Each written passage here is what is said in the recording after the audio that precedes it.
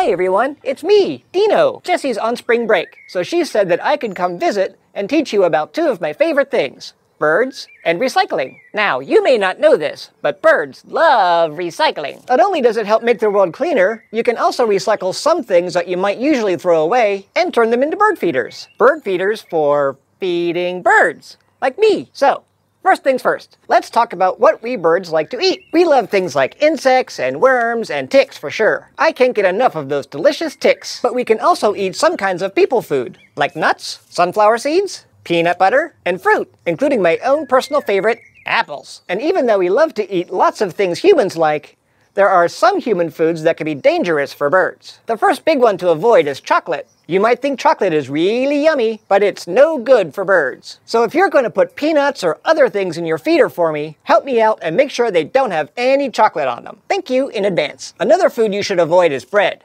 I mean, I'll eat it, but it doesn't really give me the nutrients that I need. Plus, it can attract mice and rats, and as good as I am about sharing, I do like to have my food all to myself. Now that we got our food basics down, Let's make some bird feeders. This one is really fun and easy to make. All you'll need is a toilet paper roll.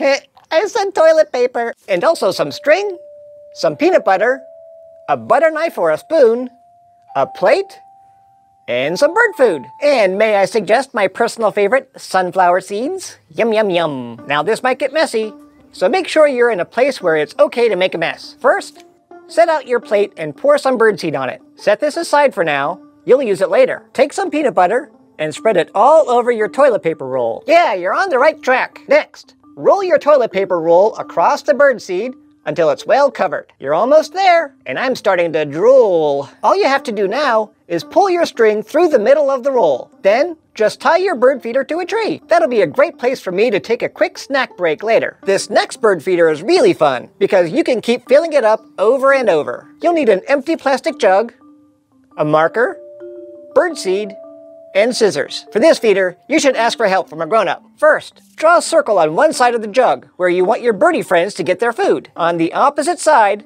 draw another circle. Next, ask for help from a grown-up and cut the circles out. That looks great. Now you can fill your feeder with bird food. And finally, you can hang your bird feeder on a branch using the jug's handle. No string needed. Okay, I have one more fun bird feeder to show you that's really easy to make. All you'll need is an empty plastic bottle, some string, scissors, birdseed, and a wooden spoon. And if you have an extra pencil lying around, that'll work too. First, mark a spot on the bottle near the bottom, about the width of your wooden spoon or pencil. Now, flip your bottle over and mark a spot opposite the one you just made. Make a third mark about an inch above that one. Then get some help from a grown-up to cut out those three holes. Once the holes have been cut, slide your wooden spoon or your pencil through the two lower holes. Now you've made a perch for birds to stand on and a hole for the seed to spill out. All that's left is to fill the feeder up and hang it outside. By recycling your leftover stuff and turning it into bird feeders, you're helping the environment, which keeps you healthy, and you're giving your neighborhood birds a meal, which keeps us healthy, which is just so sweet of you. Did you make a bird feeder that you want to share? Or do you have more questions for me about birds or dinosaurs or how I'm so handsome? Grab a grown up